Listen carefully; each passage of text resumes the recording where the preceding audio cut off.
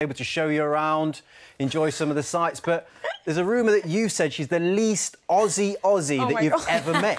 That's so embarrassing. Shalom. I mean, Shalom is Shalom knows nothing about. so savage, but so true.